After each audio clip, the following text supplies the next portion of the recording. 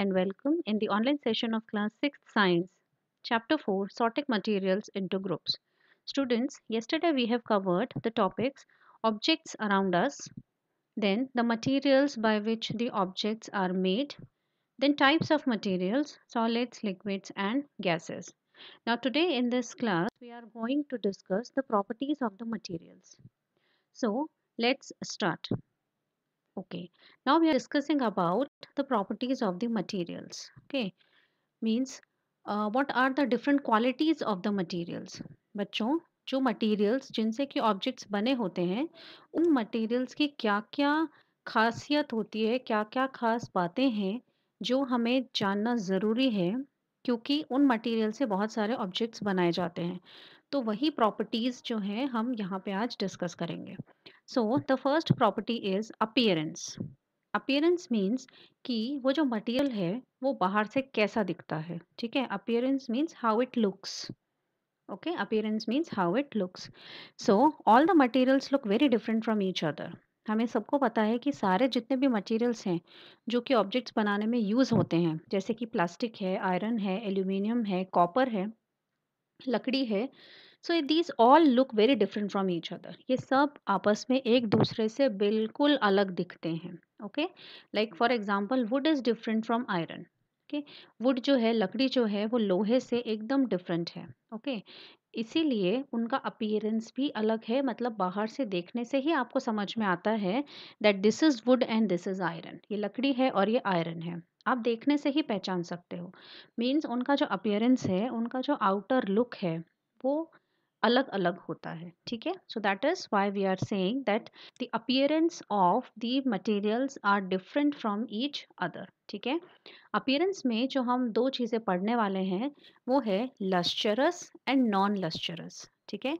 Lustrous का बच मतलब होता है शाइन लस्चरस का मतलब होता है बच्चों शाइन शाइन मीन्स चमक, ठीक है? कुछ ऐसे सब्सटेंसेस होते हैं जो बाहर से बहुत ही चमकीले होते हैं, शाइन करते हैं। जब लाइट उनके ऊपर गिरती है तो वो बहुत शाइन करते हैं। ओके? लाइक आपने देखा होगा, कोई भी मेटल है, या आप अपने घर के बर्तनों को भी देख सकते हैं। They are very shining, right? आप उसमें अपना चेहरा भी देख सकते हैं।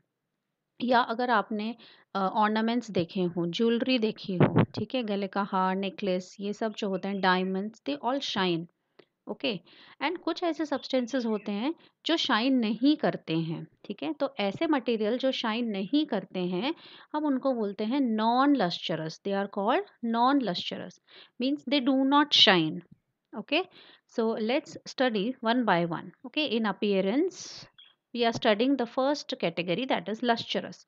Lustrous means the objects that shine ठीक है? ऐसे ऑब्जेक्ट्स जो शाइन करते हैं, जो चमकते हैं, उन्हें हम बोलते हैं lustrous objects they are called lustrous objects okay now अब जो चमकते हैं, उसमें भी some are less shiny and some are more shiny कुछ कम चमकते हैं और कुछ ज़्यादा चमकते हैं, ठीक है?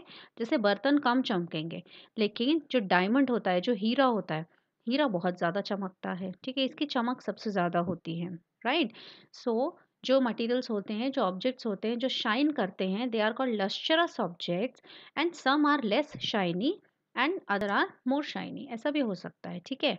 तो अब हम नेक्स्ट देखते हैं the objects which are non lustrous जो चमकते नहीं हैं right so objects that do not shine they are called non lustrous ऐसे ऑब्जेक्ट्स जो चमकते नहीं हैं, जो शाइन नहीं करते हैं, उन्हें हम बोलते हैं नॉन लस्चरस ऑब्जेक्ट्स ठीक है? इसमें अगर आपको एग्ज़ाम्पल देना हो तो आप किसका एग्ज़ाम्पल दे सकते हैं? Yes very good example is wood लकड़ी, ठीक है? लकड़ी एक ऐसा मटेरियल है जो चमकता नहीं है राइट अगर आप पेड़ों की लकड़ी देखेंगे तो वो चमकेगी नहीं, लेकिन आप फर्नीचर अगर देखोगे, उसका बना हुआ, वो कुछ कुछ फर्नीचर्स होते हैं जो चमकते हैं, पर वो क्यों चमकते हैं बच्चों? क्योंकि उनके ऊपर जो है एक शाइनी लेयर लगा दी जाती है, उनके ऊपर एक कोटिंग कर दी जाती है शाइनी लेयर की, ठीक है? इसलिए वो चमकने लगते हैं। otherwise wood is non-lustrous ठीक है wood does not has shine fine so what we have done till now in the appearance we are studying the properties of materials first one we are studying appearance appearance में हमने दो categories देखी one lustrous means shiny objects and दूसरा हमने पढ़ा non lustrous ठीक है जो चमकते नहीं हैं now let's see one activity Take सब materials like copper paper etcetera ठीक है? आपको कुछ मटेरियल्स इकट्ठे करने हैं, आप घर पे भी कर सकते हो।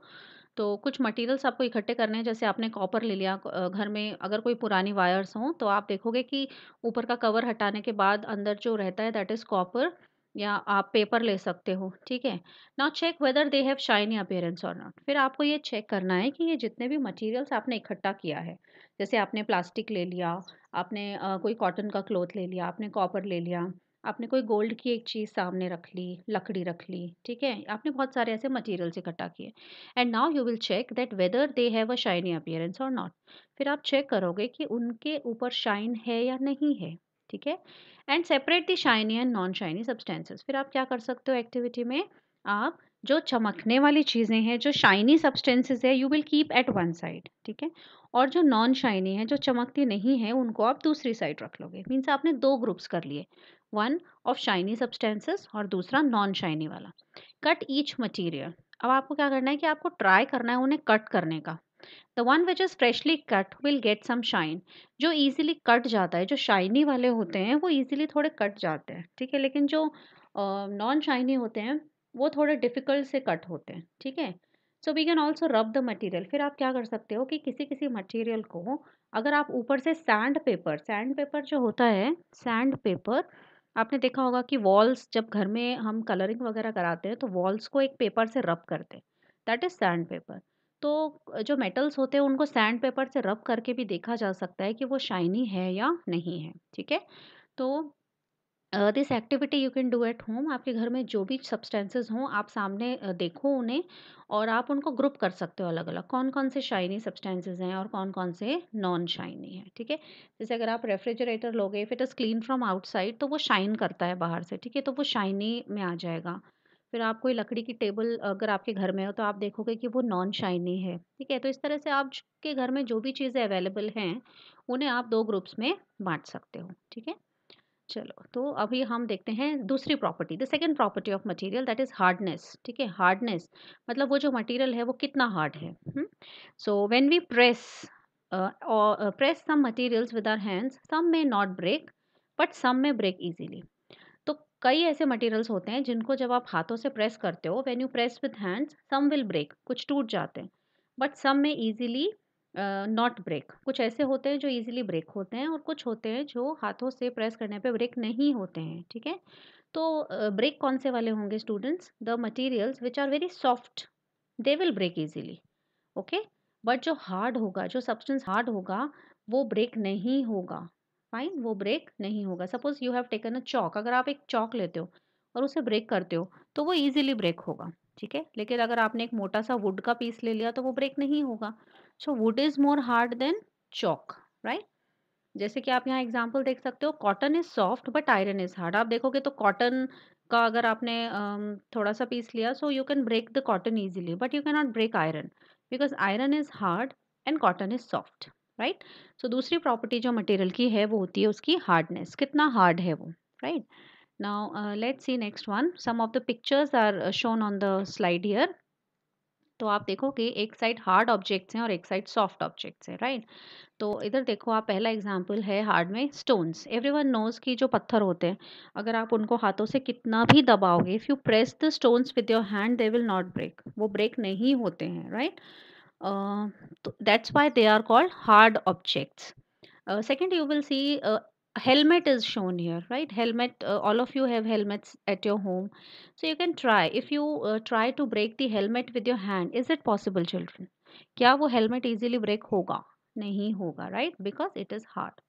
Then all of us have uh, spoons knives uh, okay in our kitchen. So if you try to break or if you try to bend the spoon will it work? No. Why? Because it is hard. okay जो spoons होते हैं hard होते हैं, इसलिए वो break नहीं होते हैं okay then in the fourth picture you can see some of the statue here तो स्टैचूज भी क्या होते हैं? हार्ड होते हैं। अगर हम उन्हें हाथ से प्रेस करें so they will not break right? So all these things are hard some more examples you can give here, like wall, table, refrigerator, right? Your book. तो ये सब चीज़ें क्या होती है? हार्ड होती हैं। They will not break easily अच्छा अभी जो दूसरा है दैट इज़ सॉफ्ट सॉफ्ट में कौन कौन सी चीज़ें आ सकती हैं स्टूडेंट्स? आप ये देखो, इन द फ़र्स्ट पिक्चर एक टॉय दिखाया है, राइट? right? ये एक सॉफ्ट टॉयज है, इसको नाम ही सॉफ्ट टॉयज है। घर में जितने भी होते हैं, हम सॉफ्ट टॉयज बोलते हैं। क्यों ऐसा होता है? क्योंकि ये ईजिली बेंड हो जाते हैं। आप इनको किधर भी मोड़ सकते हो, in any direction you can bend it it easily bends. ठीक है? ईजिली मुड़ जाते हैं ये, इसलिए इनको बोलते हैं हम सॉफ्ट मटेरियल्स। ओके? अभी जो सेकेंड एग्ज़ाम्पल है, you can see here some wires are shown here ठीक है? तो वायर्स जो होती हैं वायर्स को भी अगर आप ऐसा बेंड करके देखोगे सो दे आर सॉफ्ट वो किसी भी डायरेक्शन में मुड़ जाती हैं। Why because they are soft ठीक है? नेक्स्ट अगर आप देखोगे example here one pillow is shown ठीक है? घर में सबने पिलो देखा है। पिलो से बच्चे खेलते भी हैं they throw the pillows on each other right even in the movies you might have seen जब पिलो को एक दूसरे पे फेंकते हैं तो पिलर्स के पिलो के सारे वो कॉटन जो है वो बाहर निकल के आ जाती है, ठीक है? तो पिलो जो होता है it's very soft so it can bend easily okay यहाँ पे आप देखोगे कुछ स्पंज के पीसेस दिखाए हैं स्पंज ठीक है? स्पंज अगर आपने देखा हो घर में क्लीनिंग के पर्पज़ के लिए भी स्पंजेस यूज़ होते हैं किचन्स में भी आपने देखा होगा स्पंज बर्तन मारने के लिए यूटेंसिल साफ़ करने के लिए भी वो स्पंजेस यूज़ होते हैं so they are very soft to bend ठीक है? सो हमने कौन कौन से प्रॉपर्टीज़ आज डिस्कस की हैं? आज हमने डिस्कस किया है, एक तो लश्चर ठीक है? लश्चर मीन्स शाइन तो कुछ ऐसे सब्सटेंसेस होते हैं जो कैसे होते हैं? लश्चरस होते हैं। हमने लश्चर की बात की आज शाइन की बात की। तो कुछ सब्सटेंसेस कैसे होते हैं? लश्चरस होते हैं और कुछ सब्सटेंसेस कैसे होते हैं? नॉन लश्चरस होते हैं। कुछ शाइनी होते हैं, कुछ नॉन शाइनी होते हैं राइट लस्टर की बात की और दूसरा जो हमने आज बात की दैट इज़ हार्डनेस ठीक है? अपियरेंस में हमने हार्डनेस की बात की। तो हार्डनेस में भी दो चीज़ें हो सकती हैं कि either the object is hard और सॉफ्ट राइट तो यहाँ पे हमने some of the objects we have discussed which are hard और some objects we have discussed which are very soft fine so in your home you can try and find out which objects are hard and which objects are soft. Okay? So uh, let us summarize what we have done today. So we have studied two properties of materials. Okay, कौन कौन सी हमने दो properties study की बच्चों? First one हमने appearance देखा। ठीक है? अपियरेंस में हमने स्टडी किया कि वेदर दे आर लश्चरस और नॉट दे आर शाइनी और नॉट एंड सेकेंड जो हमने स्टडी किया वो था hardness whether they are hard और सॉफ्ट ठीक है? तो मटेरियल्स कुछ होते हैं जो शाइनी होते हैं कुछ शाइनी नहीं होते हैं। कुछ मटेरियल्स हार्ड होते हैं और कुछ मटेरियल्स सॉफ्ट होते हैं। So that much we have studied today. Other properties of the materials we will study in the next class. Okay. So till then all of you uh, do watch the videos completely. If you have books, read the chapter from your books and whatever work will be given to you, you have to write in your notebooks. Okay. So we'll meet in the next class. Till then, stay home, stay safe.